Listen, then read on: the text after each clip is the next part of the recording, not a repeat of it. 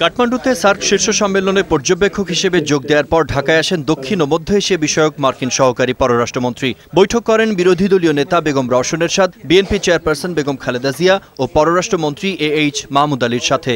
সংবাদ সম্মেলনে নিশাদ দেশাই বলেন নির্বাচনের উপায় ও সময় ঠিক করতে হবে দেশের মানুষকেই। গণতান্ত্রিক প্রক্রিয়া শক্তিশালী করার ক্ষেত্রে তার দেশ সহযোগী মাত্র। In terms of elections and such, it is for the people of Bangladesh.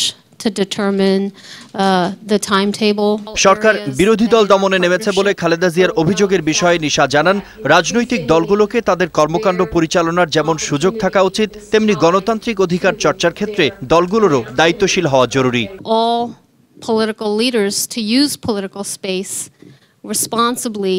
We also expressed our support for political dialogue.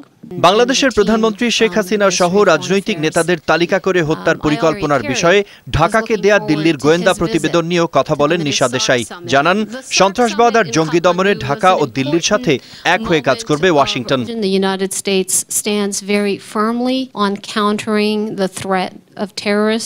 তৈরি পোশাক খাতে বাংলাদেশের অগ্রগতির প্রশংসা করেন নিশা। আলোচনার মাধ্যমে জিএসপি সুবিধা পাওয়ার বিষয়ে সৃষ্ট সংকট কেটে যাবে উল্লেখ করে তিনি জানান জন কেরির সফরের বিষয়ে উভয় দেশই প্রস্তুতি নিচ্ছে। Mithun Mustafiz Baishakhi uh, news Dhaka.